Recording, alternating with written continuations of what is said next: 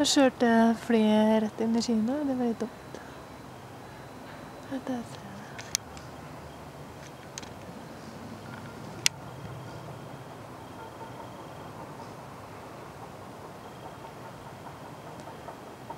De sprayer eh, selv om det er overskyet. Gir seg ikke.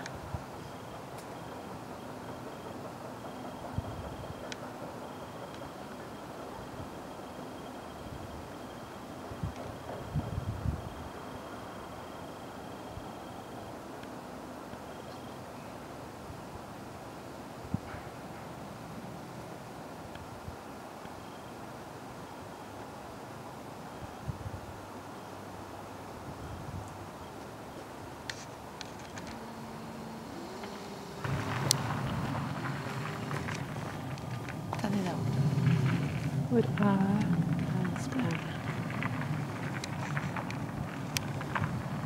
Finner det ikke.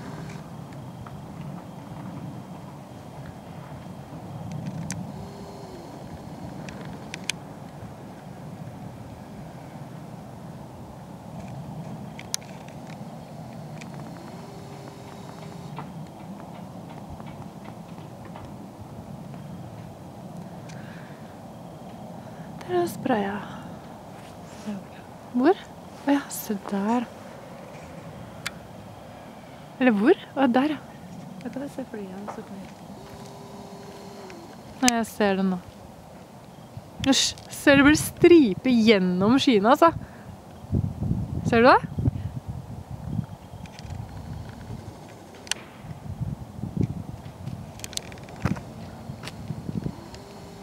Ja, den, den var litt spesiell.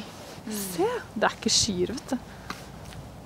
For de lager jo ikke spor gjennom skyer.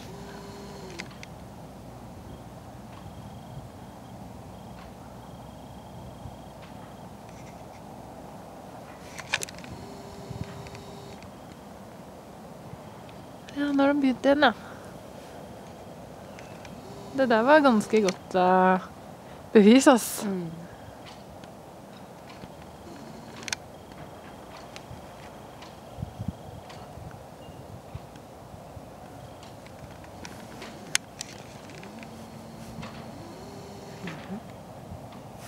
Herregud, det var spesielt. Det, akkurat det der har jeg ikke Det er første gang jeg filmer det der. Mm.